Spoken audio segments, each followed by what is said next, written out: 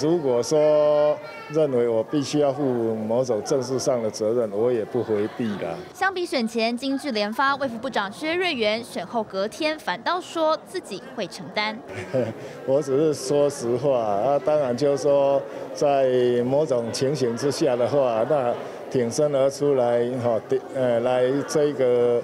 呃，替自己的政策或者是防防疫团队来做辩护。因为选战期间疫苗争议，还有前客说薛瑞元被外界点名为影响民进党选情，还说是压垮陈时中最后一根稻草，自家立委出面缓颊。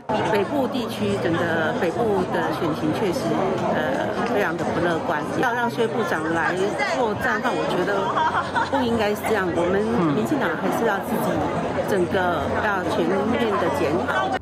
薛瑞元部长这一次犯的错误，其实跟周玉蔻女士一样，就是他们想帮陈时中前部长辅选，甚至于想在言语上来帮忙，但是他们却是提油救火，越帮越忙。